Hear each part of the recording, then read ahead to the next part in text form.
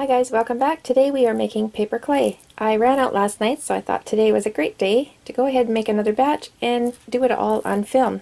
Now if you've seen my previous videos on this clay, please watch this one because this one is going to be a lot more helpful. And I've actually tweaked the recipe a little bit as well. Uh, the ingredients have changed a little bit to make it into something a little more user-friendly I think.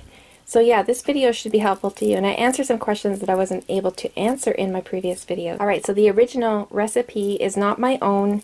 It belongs to Scott Stoll. He put it out many years ago. He has Stolloween.com. I'll put that up on the screen for you. Alright, so this isn't the only recipe. This is the one I like to use. It doesn't mean it's the best one. I just enjoy this one. It works well. It's very, very sturdy, and I can make it up in a few minutes. Alright, so let's not talk anymore and we'll just get over to my kitchen sink and we'll make some clay. Alright guys, so we're going to whip up this clay together on film and hopefully this will make some of you um, feel a little, bit, a little bit better about it. I know that it can be a little bit distressing when you're first making it because it doesn't it doesn't feel like you think it should feel. And sometimes it's a little bit too wet and sometimes a little bit too dry. And the, the one thing to remember is you can't really mess this up, really. I mean, if you follow the ingredients, um, it might come out a little bit too wet, might come out a little bit too dry, but it's still going to work. Okay, so there's six cups of flour in here, and now I use a lot of salt. Okay, I didn't do this before, but I actually put a tablespoon of salt for every cup of flour. And I do that because salt actually kills the mold from happening, any mold from happening. And I don't want mold ever to happen. I work so hard on my things. I don't want to come in there one day and see any mold. So I use a lot of salt. So that's one tablespoon of salt for every cup of flour. So I've put in six tablespoons of salt, and that's iodized salt.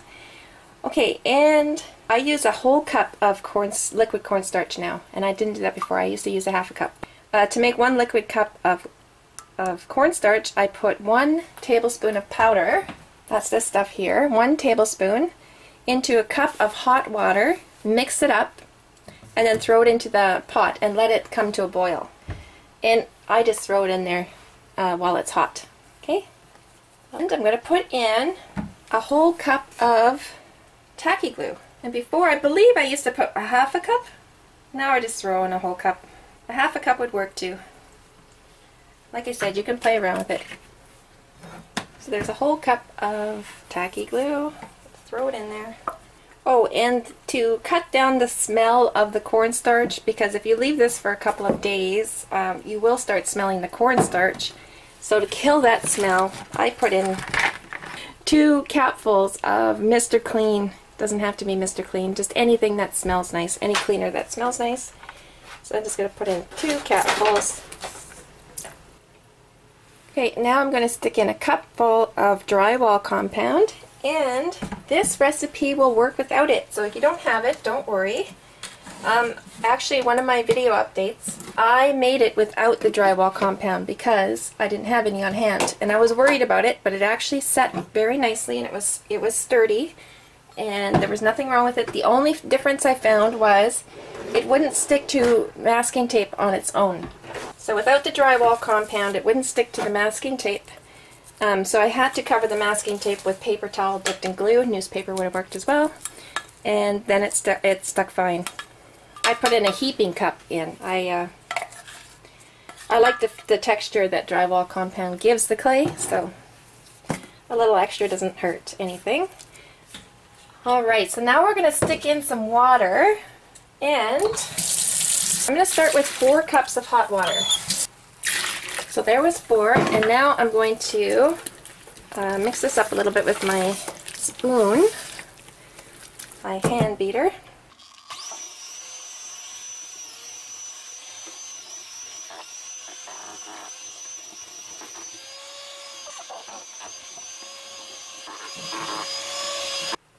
Okay, I'm going to stick in just another cup, maybe a little less, maybe three quarters. I just stuck in another three quarters of water and I'm going to see, I think that's going to be enough.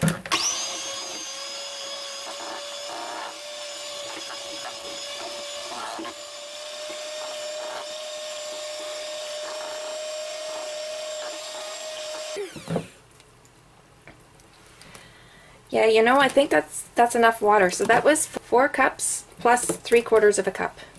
Four and three quarters cups of hot water. And I think that is enough. So you can see that's like light pancake batter. Um, before I was putting in too much water. It always turned out, and it wasn't an issue, um, but it does make a difference in the texture, so yeah, I was using too much water before.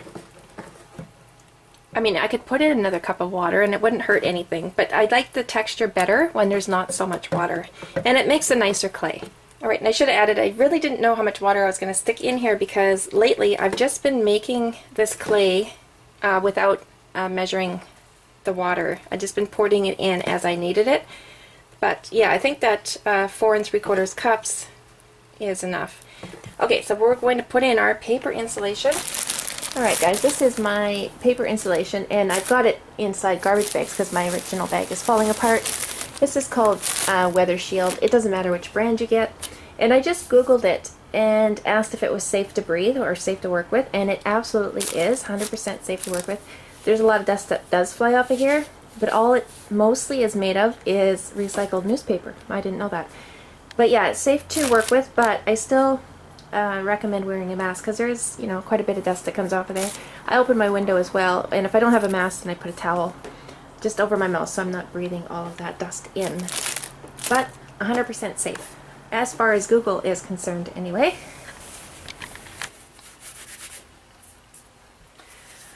Okay, so it's better to start off with a little bit and get it uh, thoroughly mixed up and then you can put more in.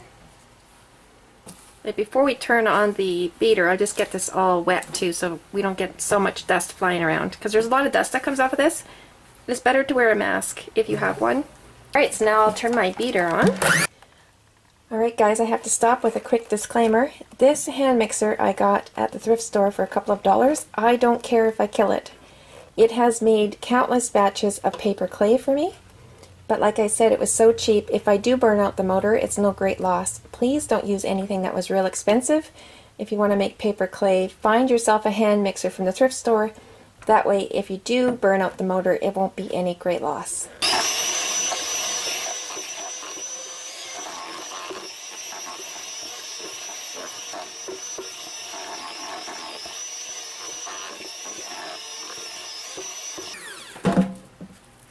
Alright, time for some more.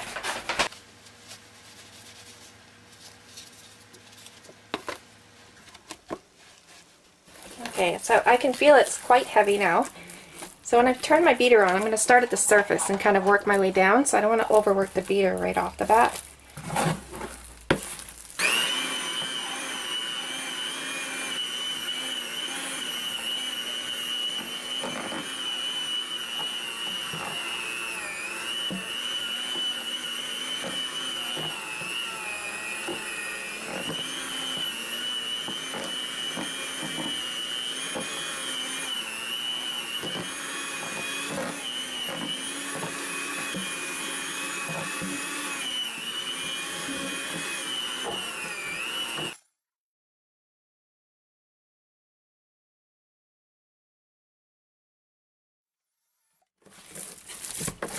Okay, so it needs a little bit more insulation.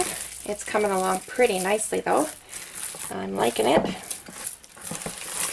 And right about now you'll realize that one of those drills with the uh, industrial mixer and a bucket would come in handy and it would be so much faster than doing it this way.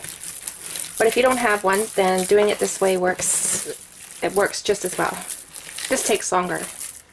I'm going to put a little bit more in there, not too much.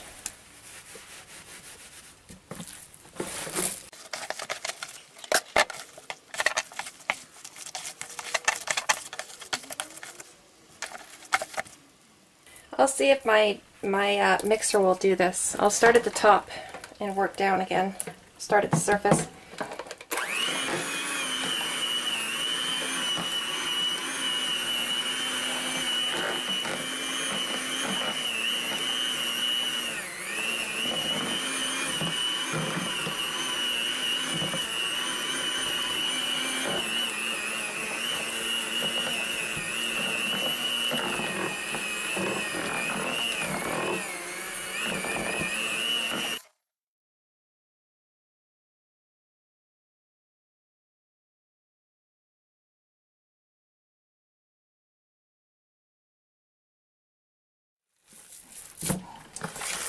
Just want to lift up any stuff on the bottom.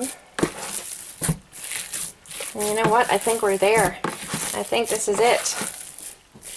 That feels pretty awesome.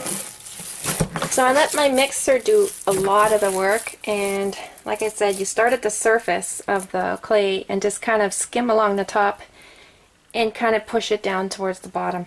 You'll hear your mixer make, you know, they'll make funny noises if they're if they're being overworked. But I think this is it guys. I think that's this will be my clay for today. I could spread this out with a knife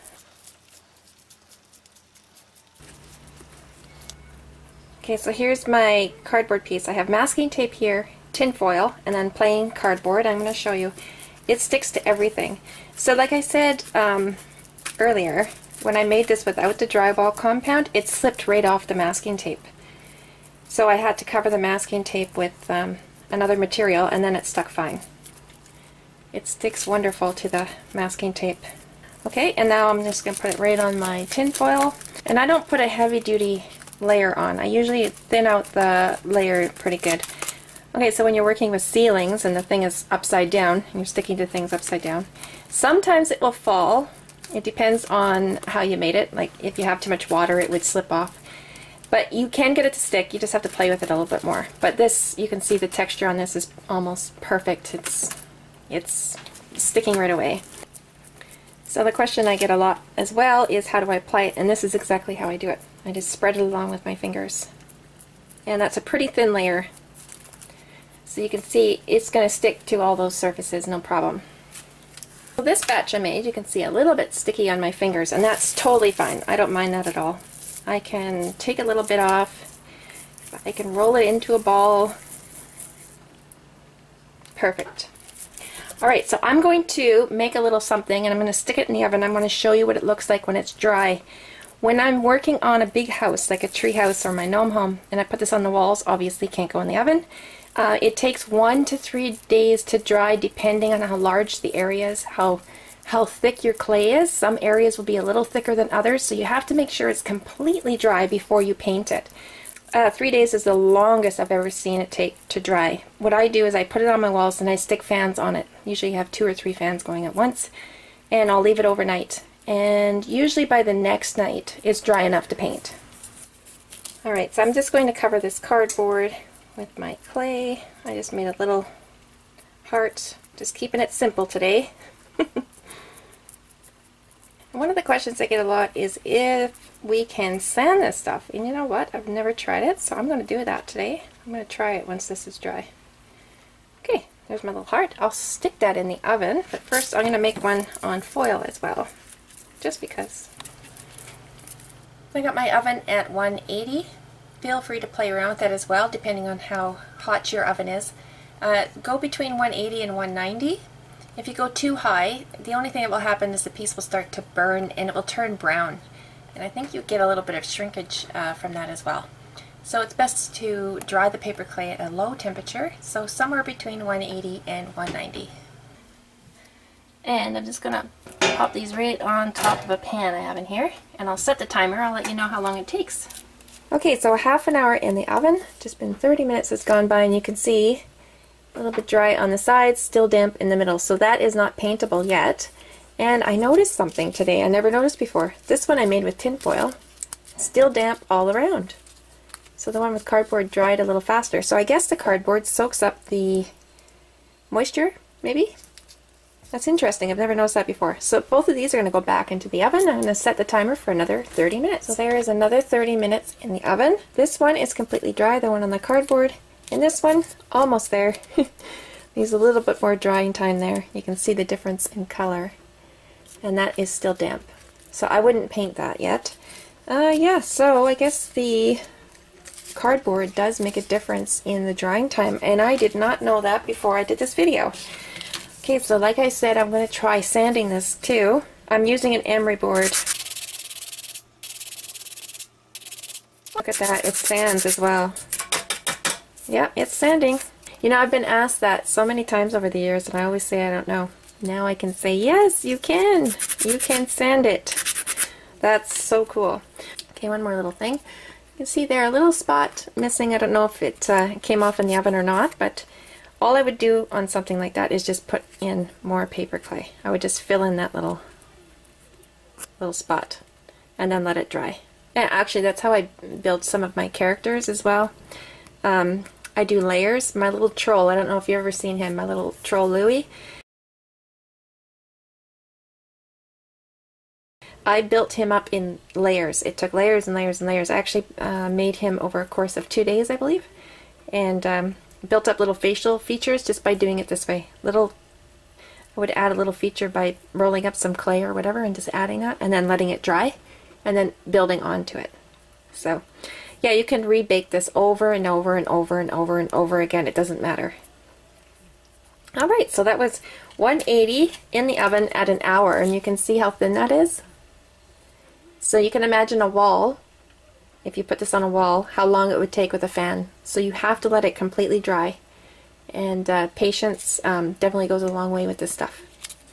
Oh, the last thing I should say is um, you can keep this in the fridge. When you're not using it, put it in the fridge and it should keep up to about two weeks. I've seen it last longer. I've, I've had it in my fridge some a couple times up to three weeks. But anything after that is going to start uh, molding. So you have to use it up within oh, one to two weeks, three weeks at the most. You'll know. You'll have to take a look at it and see. Every clay is going to be a little bit different. So all the stuff that we use today can go down the sink. Uh, hot, soapy water. And the faster that you clean this stuff, the better. Uh, if you leave the things sit too long with like drywall and the glue and all that kind of stuff on them for too long, then you know what's going to happen. It's going to be a little bit harder to wash them. So I just soak them in hot, soapy water for a couple of minutes and then I wash them up and everything can go down the sink. Right guys, so that's the end of this video. I hope that was helpful. And if you make a batch with this new tweaked recipe, please leave me a comment and let me know how it turned out. I'd love to hear. And you can check me out on Facebook, dollhouses and the things that go in them, and post your pictures there as well. Thanks so much for watching. We'll see you soon.